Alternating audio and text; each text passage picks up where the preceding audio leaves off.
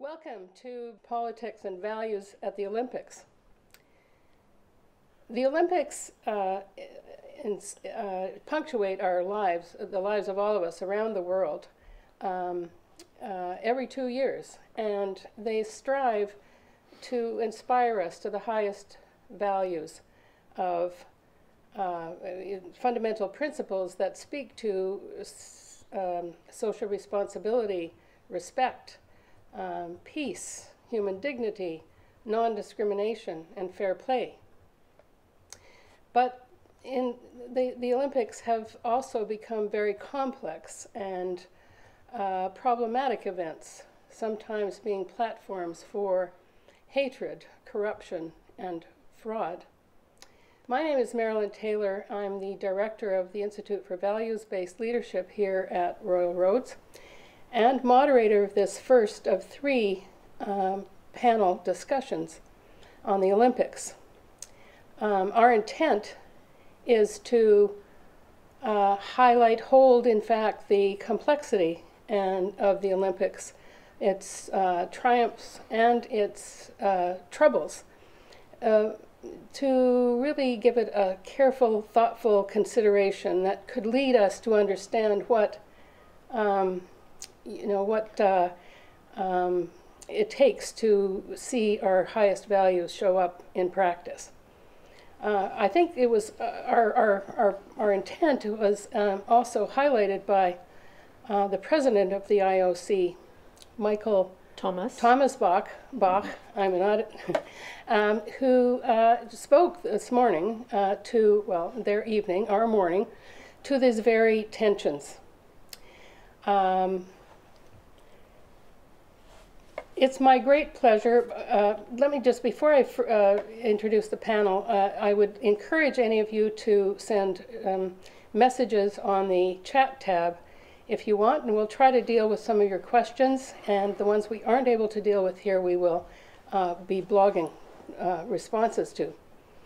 So it's my great pleasure to introduce uh, my colleagues here at Royal Roads, um, who Jennifer Walinga, who is uh, the director of uh, the School for uh, Communication and Culture, uh, Deanna Binder, who is an adjunct professor in the Institute for Values-Based Leadership, in the Leadership School, and Michael Real, who is a professor in also the uh, School for Communication and Culture here. Um, Jen, Jennifer Walinga's um, career as an educator and as a researcher was preceded by an extraordinary and informed, I think, to some extent, by a, an informed, by a, uh, an extraordinary experience of being a member of Canada's uh, Commonwealth World and uh, gold medalist Olympic rowing teams between 1983 and 1992. She is a coach, a dedicated coach, um, and is passionate about um, realizing sport as a path for youth uh, to achieve their highest values in their lives.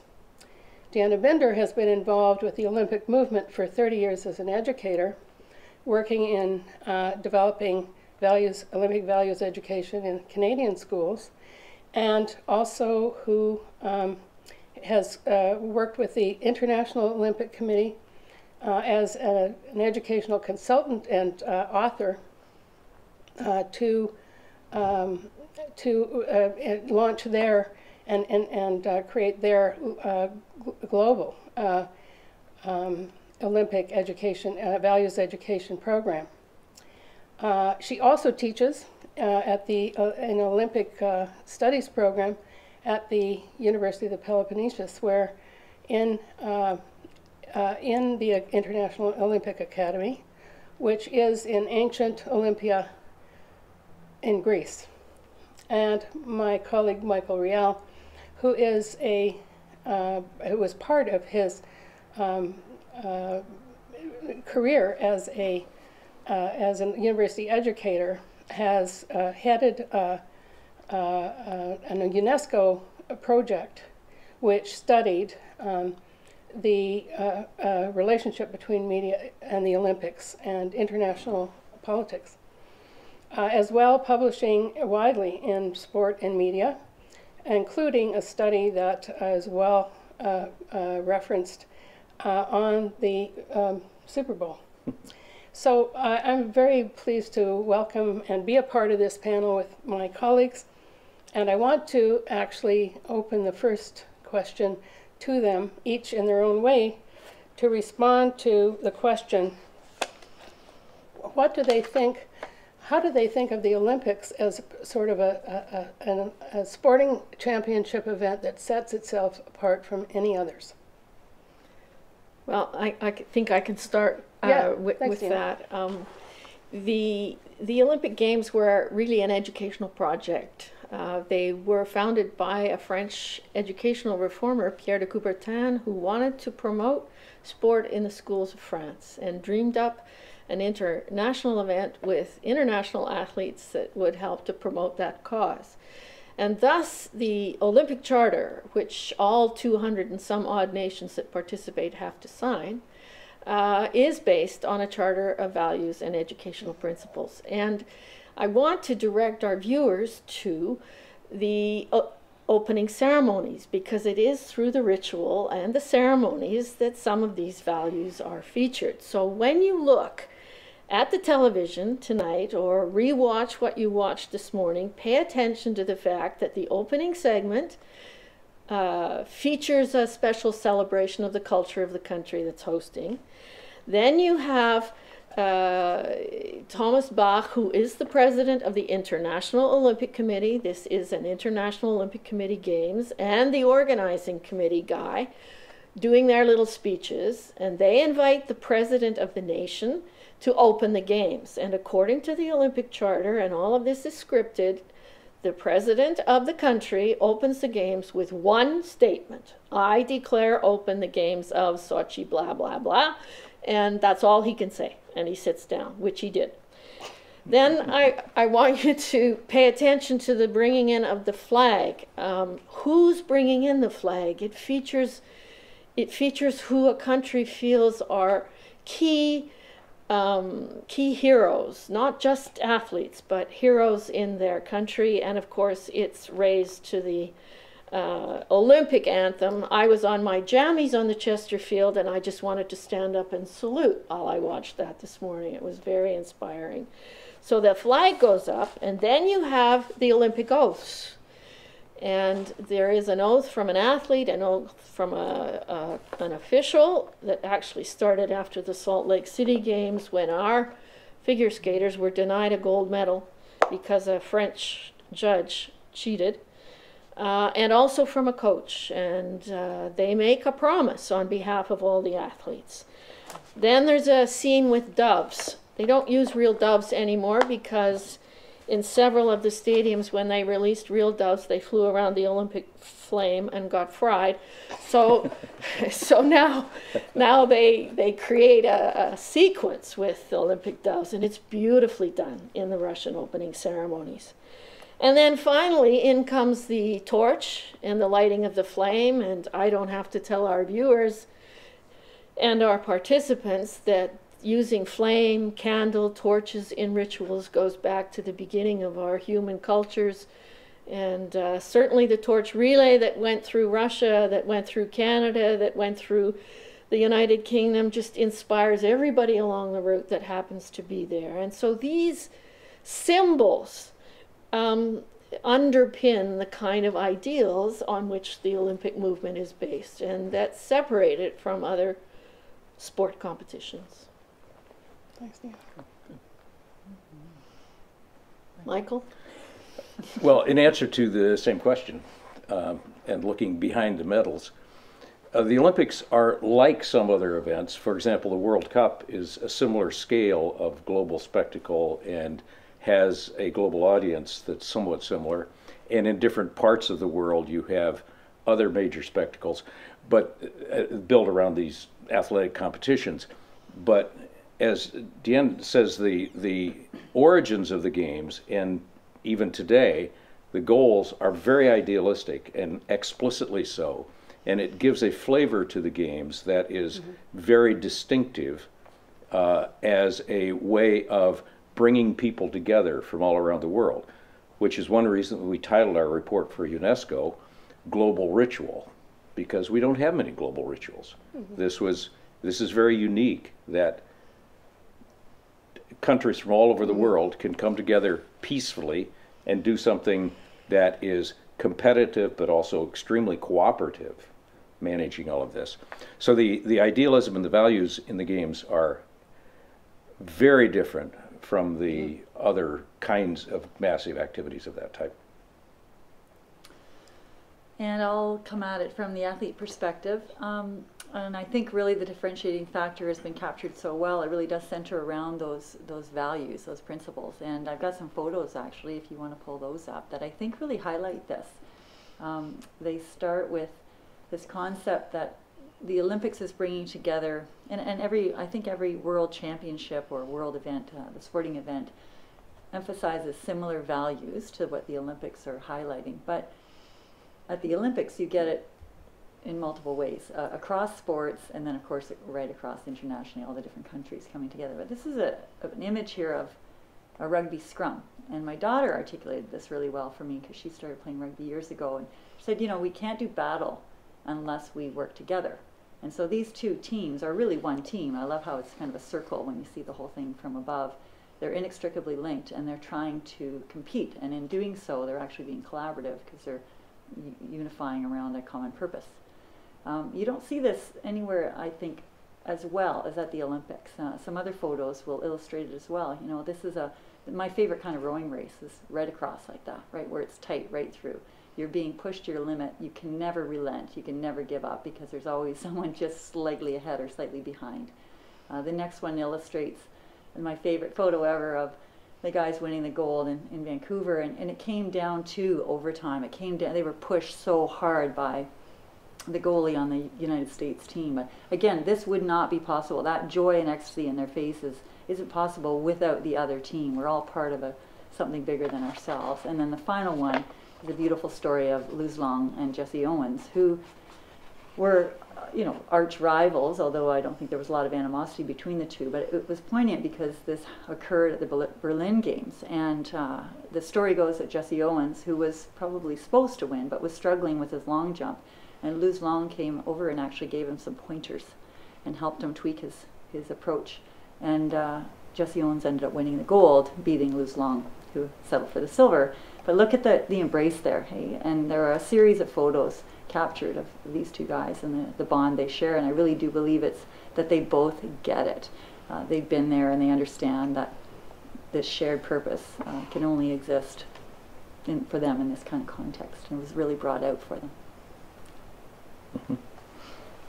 Fabulous. Um, quite distinctive when you think of uh, our hockey classics and our football classics. Uh, um, what concerns you uh, about how the um, is there things that you're concerned about about uh, how the how the Olympics are developing um, at this moment in time? Uh, and you know, we had a, um, a question come in from a uh, a, a, an observer uh, on the question of things like branding and uh, commercial use as one possible as one possible thing to consider that maybe wasn't considered back when it began in France.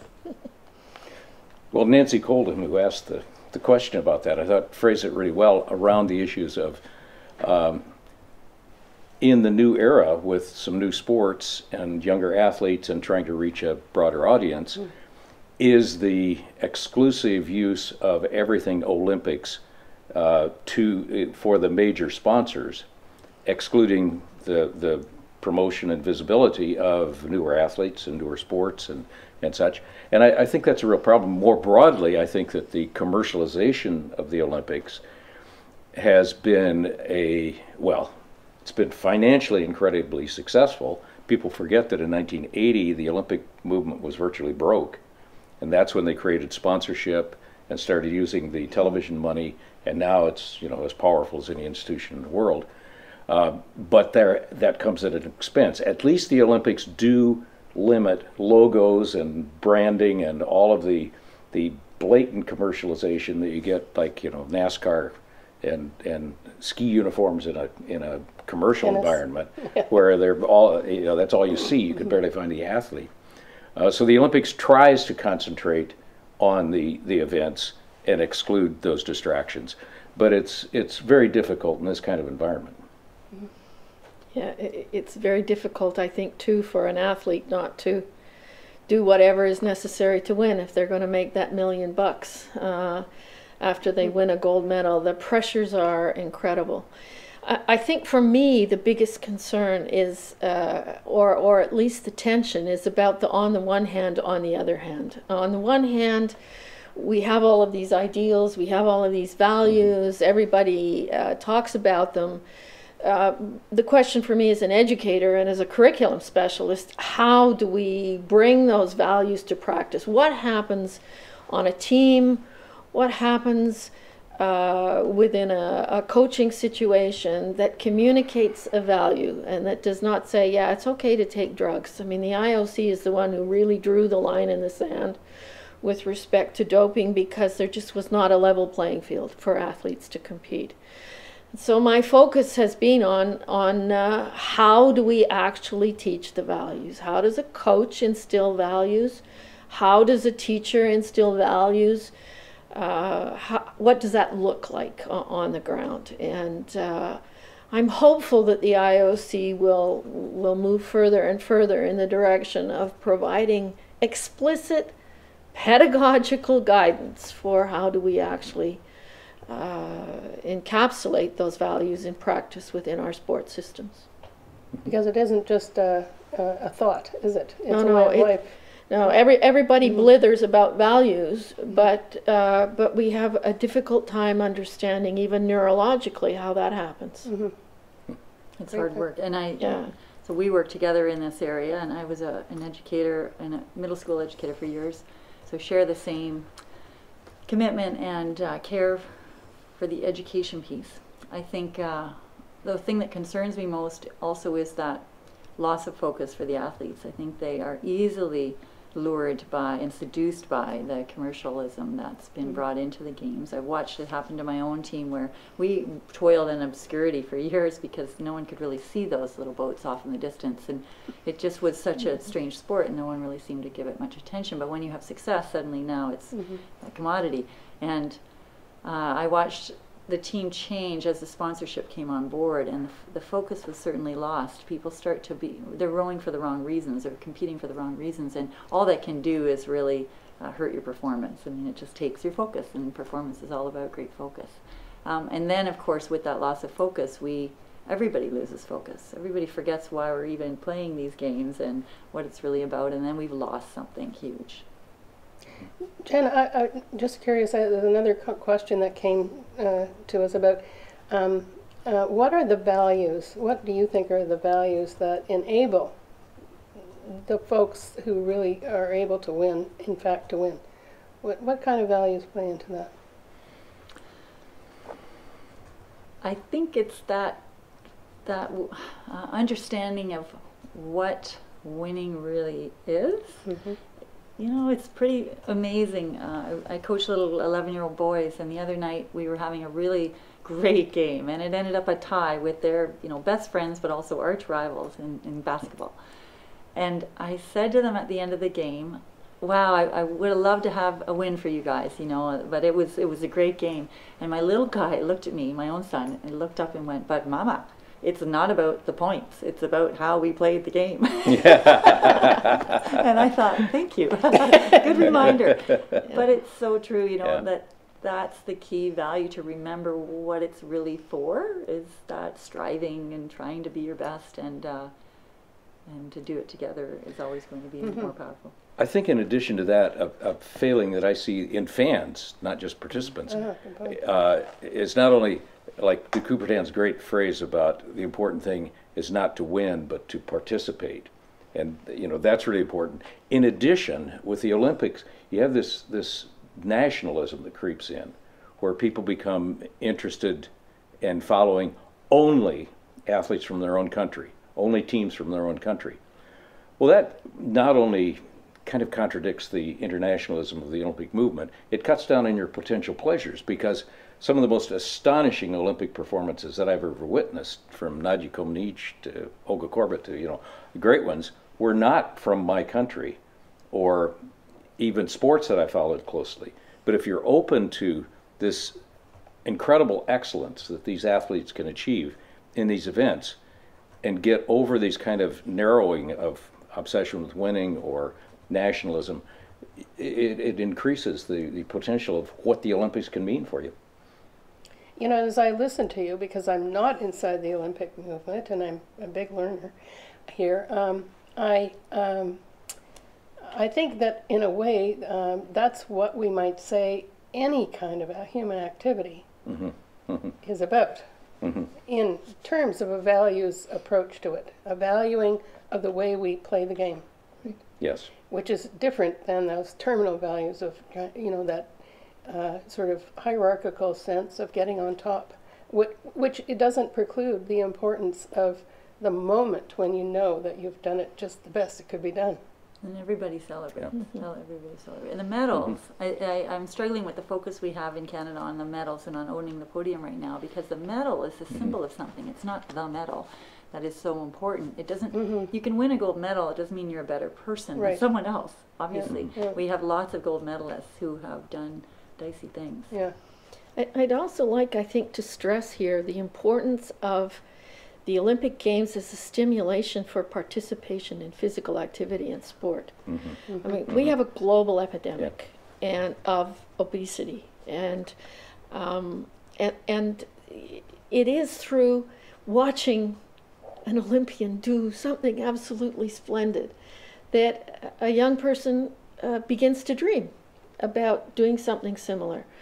Uh, and and so I- think it's important for our culture, for other cultures, to return to the de Coubertin idea that through participation in physical endeavor, something is learned that isn't learned just through brain work. Uh, Pierre de Coubertin truly believed that through physical effort, physical endeavor, uh, we learn things about ourselves and we learn to to uh, push ourselves to excellence.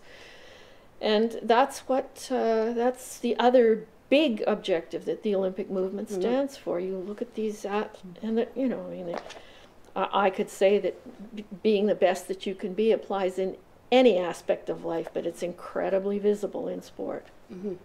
Which makes it a great learning tool yeah, yeah. in a way, in a yeah, broader way. yeah. Um, I wonder, you know, I've been thinking that there's a, a, a, a kind of a, a core, which is all about the athletes. And then there's the, all of this stuff that goes on around, around it. Again, back to the sort of, but there's also the political uh, kinds of uh, dynamics that go on. The, you know, we heard a great uh, discussion last night from Peter Mansbridge about, you know, what Putin is accomplishing politically with this. Um, and and the commercial kind of core. Um, do you see that? is there insulation for athletes and uh, from that as they go through, they move through this, and what what helps? Within the village, there's isolation, in a sense. Uh-huh. Uh, the, the Olympic Village is one of the most wonderful creations, I think, of the Olympic Games because they all live, well, except the ones who think they're too good or don't want to be bothered or whatever, and there are examples of that, but they live together. I, I can, my favorite moment from an Olympics was Calgary, where my son was a runner in the village, and my favorite picture is him standing by the video games with a Russian athlete on one side and a Czech athlete on the other side, teaching them how to play the video game. And at that time, the Russians and the Czechs were at each other's throats. So, uh, or an Israeli and a Palestinian eating, uh, you know, macaroni and cheese at the same table in the in the athletes' cafeteria. These are moments with young people who are going to be leaders in the world. Uh, and are they completely isolated? Of course not, Mm-hmm. because they are there to We've win. talked a little bit about that. But but young people have wonderful ways of overcoming the kinds of political pressures that are sometimes put on them. I think, Jen. yeah I think so too. Yeah, I think we're. Again, I think as athletes, we were, we, they're young, you know, they're 19, 20, some of them are mm-hmm. 16. So some of them are pretty oblivious mm-hmm. to what's going on. Good. But, and that's fine. And I think, again, we need to listen to them, right? Yeah. They're the ones who are Yeah. speaking the values and living them truly together. I think in the context you're raising it, that there is a real danger that the athletes get lost in the process. Yeah. They just become kind of pawns. And at different times during the Olympic movement, that has had to be raised, like putting athletes on the IOC and, and giving them a, a voice in all kinds of questions. Sebastian Coe, for example, who headed the London Games, was one of the most activist spokespersons for athletes in the Games because otherwise there is such huge mm-hmm. media interest, commercial sponsorship interest, that the the individual athlete becomes this teeny little figure in it. And that would so contradict everything the Olympics are supposed to be about. But it's a struggle, constant struggle, that, that two sidedness you're referring to.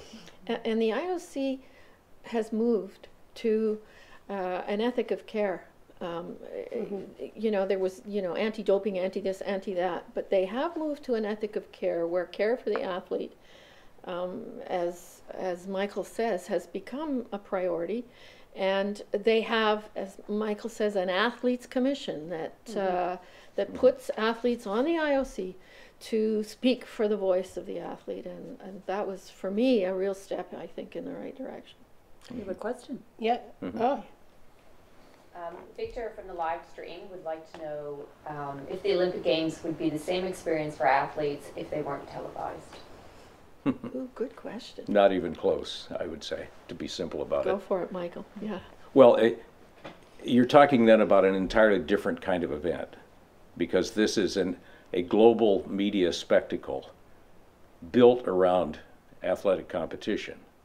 If you remove the global media spectacle, then fine, but it's going to be more like a, you know, a high school track meet or something in terms of public attention.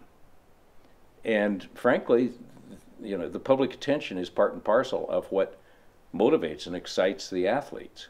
They become global heroes in this process, and I don't think uh, it's very hard to imagine that even for me. You know. can, can I just um, suggest, uh, yeah, go ahead. I just completely disagree. Okay. I think Okay. it's the first time Michael and I have disagreed on it. oh no. um, I understand, but I also, having lived through it, I think we were, uh, well, again, I think it helped being in a sport that was a bit obscure because we never had any uh, television attention or global attention whatsoever until we started winning medals. And but to win those medals, we were not concerned at all whether we'd be televised, and we never Yeah. were very aware of it either. It was so mm, similar to the World Championships. It's just again this other opportunity to compete on a world stage, and uh, we were just focused on that race.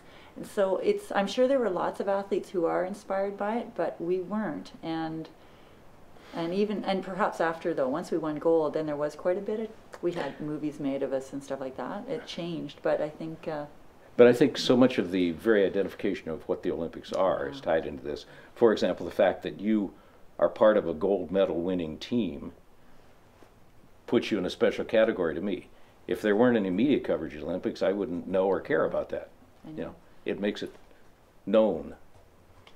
Yeah, it's an interesting question because the worlds, we won the worlds the year before, and me- most of us feel more proud of that race because of what it took.